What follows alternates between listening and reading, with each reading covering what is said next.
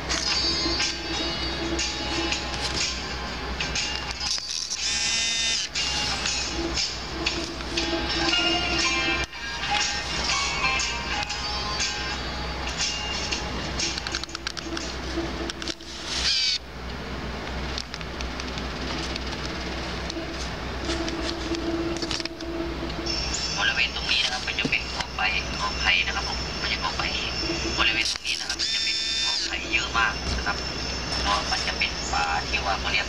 ดิมนะครับดิบชื้นรอบๆจะเป็นไม้ใหญ่นะครับ แล้วก็กลางจะมีกอไผ่ประมาณสักสิบกว่ากอนะครับถัดไปจากตรงนี้ขึ้นไปบนสันของน่าจะเป็นไม้เยอะมากเลยก็อยากเห็นลมนะครับเห็นลมเห็นแรงแล้วก็เห็น